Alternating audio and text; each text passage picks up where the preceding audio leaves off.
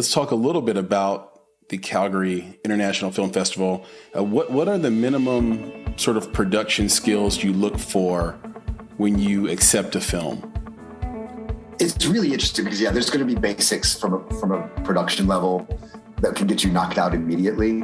Um, there, there, there's, there's a joke, but there's truth in the joke that I, I have, and it, it's a it, it's a test that is or a theory that has been proven true every time I test it. Bad fonts in opening credits always equal bad film.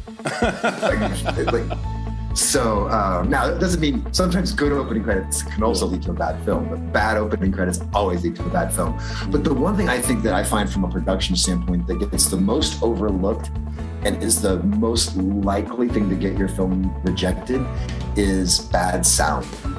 Um, I think so many people are so concentrating on, on, on the script, which you have to get right, uh, on the acting, which you also have to get right, that and the visuals. They think of it of cinema being solely a visual medium when it isn't, and a poor sound mix can knock a movie out right away.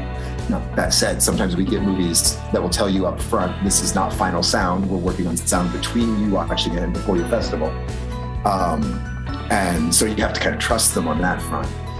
Uh, but you know, it's it's it's the one thing that I think can draw an otherwise good film uh, uh, from the, the, accept pile to the reject pile because um, they just didn't get the sound right. Yeah, it's a great point, and there's a lot to dig into there because one thing that Nick and I, Nick, my co-founder at Bonsai, we always say is you can't teach taste. And when you when you find a film that has really terrible cover art or key art, uh, bad fonts, well, that's a taste issue a lot of times because they there was nothing skill wise that prevented them from picking the next font over that that made better sense. And so you just realize, oh, we're about to get into a film with a filmmaker who hasn't polished and figured out, figured out their voice yet. When you talk about sound, I'm reminded of the hierarchy of of marketing, or sort of the the hierarchy of of, of, of marketing importance. So it starts with text, and then and sort of marketing influence, I should say, Hi- hierarchy of marketing influence.